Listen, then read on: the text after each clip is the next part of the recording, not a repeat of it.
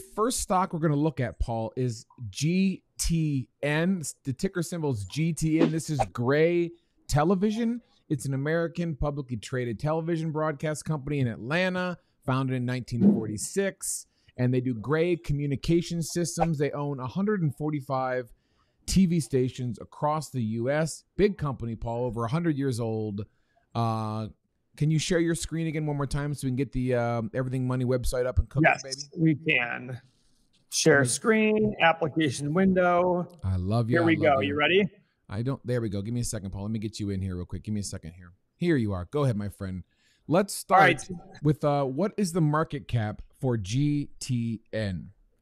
1.8 billion, and they made 400 million dollars last year. So their PE is 4.36. That's a check mark. Beautiful. With a profit margin of 17%. Beautiful. Wow. So two check marks so far, Seth. And look at this. Last year, their free cash flow was 542, and their five-year average free cash flow was 276.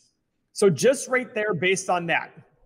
Yeah, either way. Now, one thing I don't like about the company is their return on invested capital and their return on assets are very low. So they're not doing a good job of reinvesting their capital to make more wealth for the company. That's not necessarily good or bad. We prefer a higher number, but if it's low like this, you need to pay a much lower price to the company because as their cash flow, because they're paying a 0% dividend.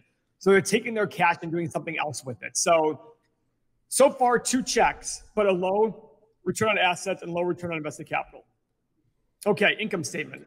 Yep, this is pillar number three is revenue growth over the past five years, Paul. 793 to 2.38 billion. That's check marks. Wow. That mean tells me they've made a lot of acquisitions in the last five years because I don't think it's very easy to to you know almost quadruple your revenue over a five year period in TV stations. And their uh, net income has gone from 62 million to 410. Check mark there. Four straight check marks, Paul. Uh, I'm looking up the acquisitions now. Um, pillar number 5 We'll see is, them on the ca- we'll see them on the cash flow statement as well. But shares outstanding, ah, here it is, 71.8 to 93 million. So they've increased their shares outstanding by almost 30%. That's a lot, maybe even more than that. Cash on hand, 918 million. Total current assets, current liabilities, 344. Check mark there. Plenty of cash on hand to pay their current bills. Cash flow, as we said before, their average, I mean, look at these. So look at this. Look at their acquisitions in the last five years 440 million, 400 million, 2.6 billion. So they've made a lot of acquisitions, as I said before. They've made yeah, a lot ju- of acquisitions. just last month they acquired Quincy Media for uh, 925 million in cash, and that's going to give them an extra 110 TV stations. Uh, it's a big, it's a big buy. Uh, Paul, tell me this before we get going. Keep going on, on this. Other people are saying that um, I've been finding this too on multiple different websites. The dividend from Google to Yahoo to a lot of different websites, including the Eight Pillar website, Everything Money uh, website. The dividend is always Hmm. different in some places. Like, wh- what's going on with that? Do you know? So let's look. Sometimes people report dividends based on trailing versus last year versus upcoming. So what's the GTN? Was this GTN? Yeah, GTN. Yep, there's something wrong with our data then. Okay, there we go. There's a bug there. Well, wait a second. Did they not pay? They did not pay. fi- Let me just look at their financial statements. Cash flow statement. Were there dividends? Yeah, there are dividends paid right here.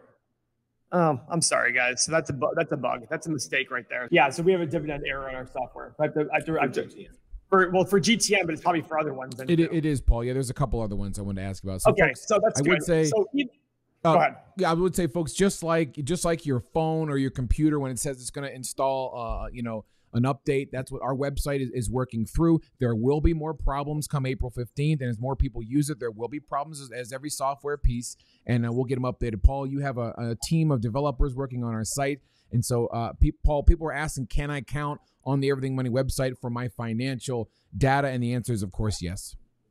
Yes, and guess what, guys? There's always going to be mistakes. I I look at YCharts. I pay hundreds of dollars a month for YCharts, and guess what? I have found tons of mistakes on YCharts. I've emailed them about, and they're like, "Oh, thank you very much. We'll get this to our development team. They'll change it." I have found mistakes on every financial website I've ever been on. It's just a reality of life. It's always a good reason to always double check and report things to us. But the one other way to look at it is go to your dividends paid in the cash flow statement. But look at this, guys. The dividends paid is not consistent. They they took many many years off of paying dividends. Last year they paid 52 million of their 542 million dollars in free cash flow. So th- that's the good news. They're only paying out less than 10% of their free cash flow is going to dividends. Um, 1.76 billion market cap, 542 million last year. That's 3.5 to one or so. Wow. So the question you have to ask yourself is why is it so cheap? Paul, why is it so cheap? Paul, someone had a question. Ryan, did make sure we didn't miss anything. Ryan says, "Did I just see five billion in total liabilities? Did we get that correct, Paul? Pillar number six yes, five billion in total liabilities. Five billion in total liabilities, not current liabilities. Why? Okay. What's the other one saying? That that's it, Paul. I just want to make sure if, if Ryan talks, you know, I listen. You know, he's my homie. So, um, okay. So pillar number seven, re- reevaluate one more time, Paul. Free cash flow. Why we're looking at it and why it's so important, and and how it's going for GTN Gray Television. Okay, so the free cash for the last five years was 276. But guys, as you saw, they made a lot of acquisitions. So this might, I mean, right now for the last year, they've generated they're at three and a half to one on their free cash flow multiple. Over the last five years, they're at like seven to one. I mean, guys, this sounds like a really, really great idea to look at this company in further detail.